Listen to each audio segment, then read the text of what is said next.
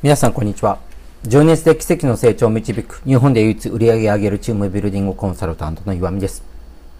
今日のテーマはですね、えー、先日ですね、えー、こうサッカーあ日本代表がね、えー、ロシアワールドカップを決めたあ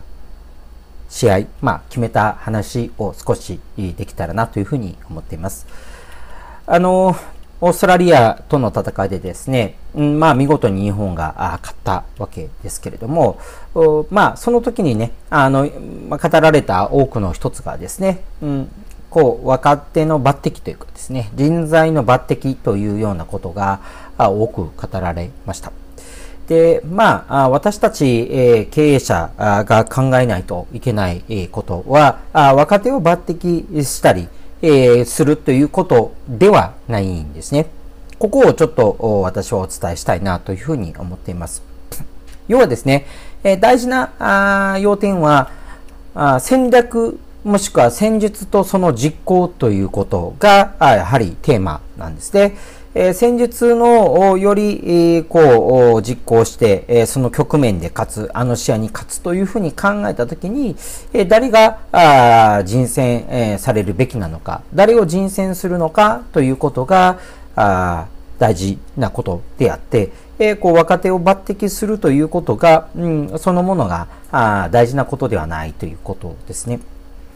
要は、あ実際に、えー、実現したいことを達成したいことを成し遂げたいことのために